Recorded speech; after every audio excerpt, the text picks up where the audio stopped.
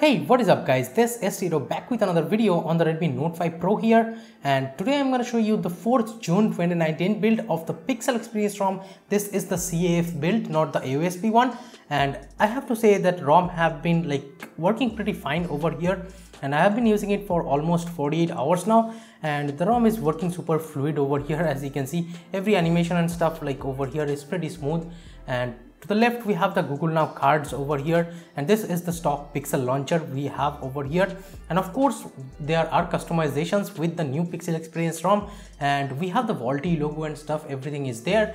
And let me just show you up close. This is how the VoLTE logo looks like. Pretty cool like Oxygen OS and let me just show you the settings panel over here.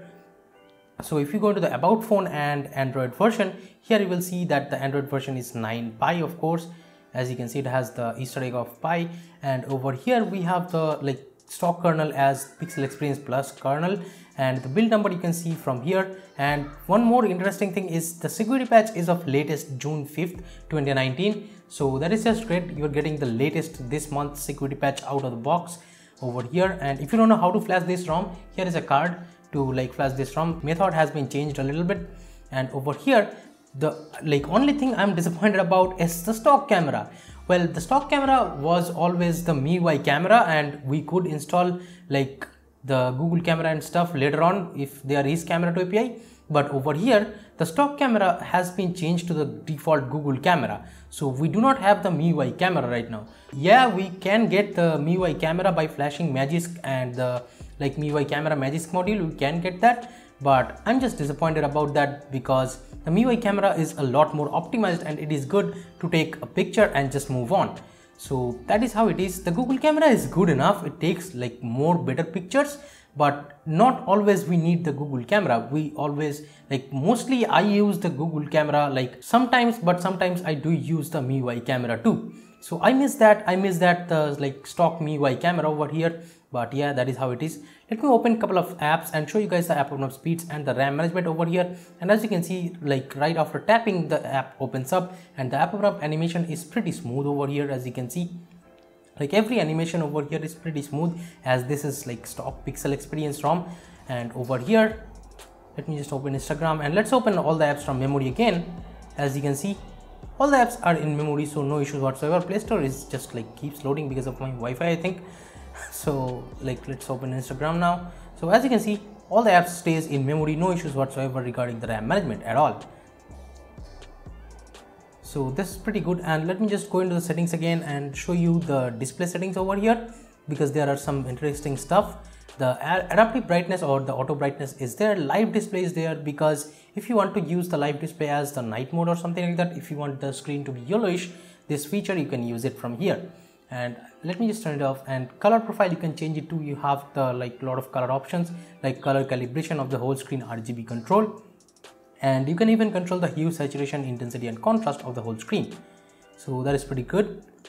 And of course we have the double tap to wake and double tap to sleep too. Let me just enable double tap to wake. And if i just double tap on over here and double tapping on the like screen wakes up the screen too. So as you can see this is pretty good. And in the lock screen let me just show you again we do have the weather and stuff so this is pretty cool i would say that we do like get to show the weather and the device theme and stuff like light dark etc works. And if you put it to dark the whole like settings panel theme changes to dark. So this is pretty cool. As you can see everything like the quick settings panel from the settings panel change to dark mode. Let me just put it back to light let's scroll down. You can change the dark theme style to default or just totally black.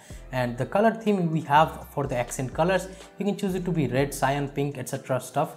And like I think you know that. And talking about the VoLTE calling yes VoLTE calling is working fine over here in this ROM but there is no call recording option by default. But the, you do get the video calling option.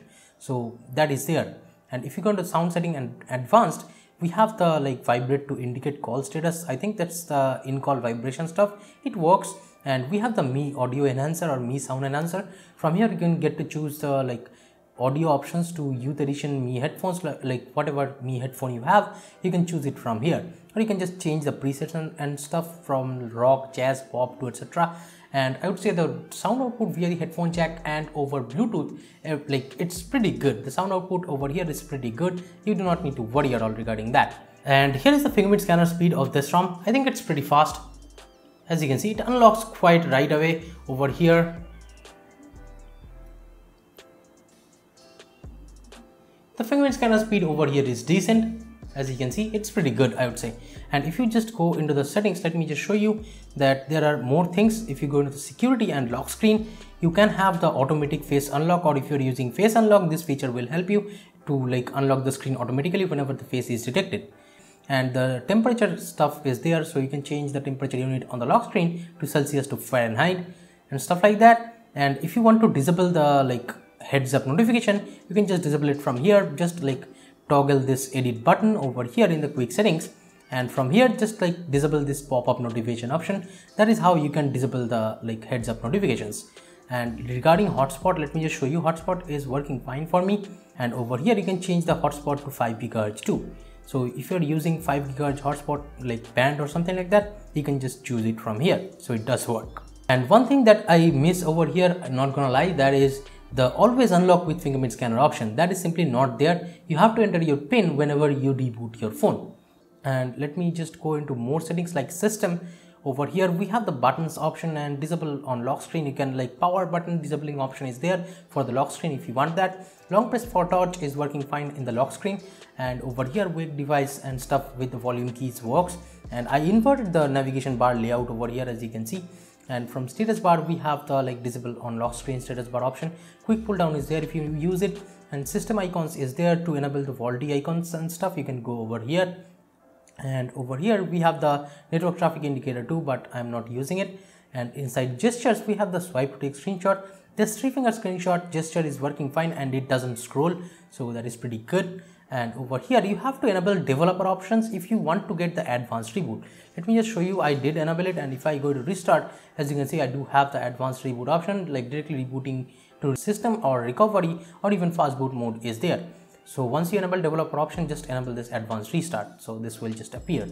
And if you have installed this ROM and like if you're waiting for future updates, well, you will be totally fine with future updates because this ROM does support the system updater. So you can like directly update from here whenever there is a new update. So this is pretty cool, I would say. And Google Pay and stuff, everything works by default over here. You do not need to worry. Like Google Pay or any other banking apps, should be working right out of the box. And huge thanks to all of you guys because we just crossed 17,000 subscribers mark guys. Thank you so much for doing it and if you haven't subscribed yet, please do subscribe to the channel for more amazing contents like this.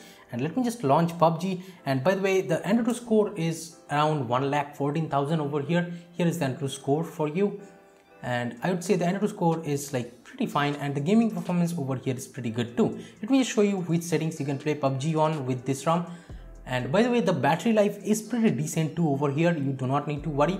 The battery life you can get around like 7 hours of screen on time pretty sure or 7 plus with your kind of usage. But i'm getting around 7 to 8 hours of screen on time with my kind of usage.